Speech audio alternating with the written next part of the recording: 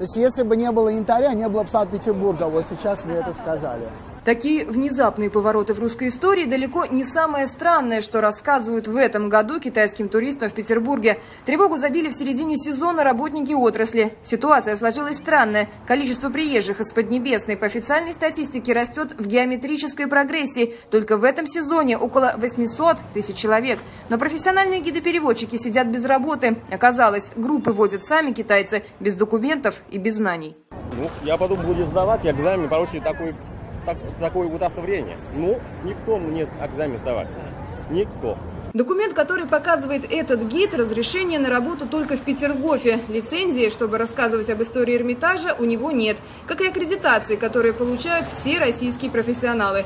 Полный пакет документов обходится гидом примерно в 100 тысяч рублей. Это инвестиция, которая теперь себя не окупает. Нет работы. С каждой недели фактически найти сложнее и сложнее. А, а, и это связано с тем, что этот рынок активно занимают э, гиды-нелегалы. Это касается не только э, китайского а, рынка, да, ну в смысле туристов, приезжающих из э, Китая, принципе э, рынка касается. Вы вряд ли знали, но по версии китайских гидов, Великая Отечественная война началась из-за того, что Гитлер решил захватить янтарную комнату в Пушкине. Впрочем, такие сказки не случайны. Дело в том, что сразу после сенсационного исторического открытия группы туристов везут в магазин янтаря, причем в непростой. Это как раз китайская фирма, которая полностью серая, которая ни копейки не приносит в бюджет города. Она заставляет своих же китайцев студентов, либо привезенных с собой китайцев, э, заезжать только к ним для того, чтобы вся финансовая схема замыкалась именно на них.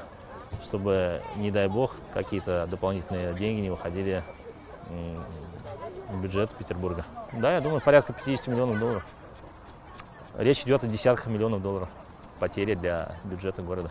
В начале сентября несколько таких гидов-нелегалов поймали, но суд их оправдал и отпустил на свободу. Доказать то, что они именно работают, а не делятся историями с соотечественниками, оказалось невозможно. Такие люди действительно не получают зарплату от турфирм, работают исключительно на процент с продаж в магазинах. Да и выявить их в потоке многочисленных тургрупп не так просто. Получается, что приезжая в Россию, о России туристы не узнают ничего. Дело в том, что на самом деле это действительно серьезная проблема, потому что китайские туристы – это люди э, другой культуры, очень высокой культуры, очень древней культуры. И поэтому это, это здесь в том числе такой очень важный, что туристическая отрасль должна устанавливать такие межцивилизационные мосты для общения. OK 了，各位，先先听一下好吗？我跟你们讲，各位注意一下，注意一下我的讲解，各位。Ассоциация гидов-переводчиков обратилась во все вышестоящие инстанции. Ситуацию нужно менять. Страдают не только люди, которые остались без работы, но и имидж города и страны в целом. В Петербургском комитете по развитию туризма обещали пойти навстречу.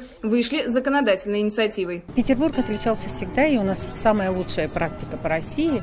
У нас всегда работали аккредитованные гиды. Сейчас э, этот закон э, рассматривается федералами это будет обязательная э, да, аккредитация гидов-переводчиков.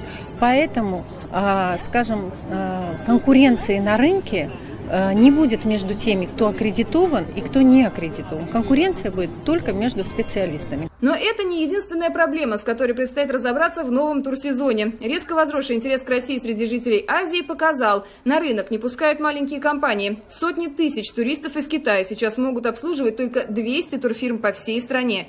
Антимонопольная служба уже вынесла предупреждение Федеральному агентству по туризму, но когда изменится ситуация, пока не ясно.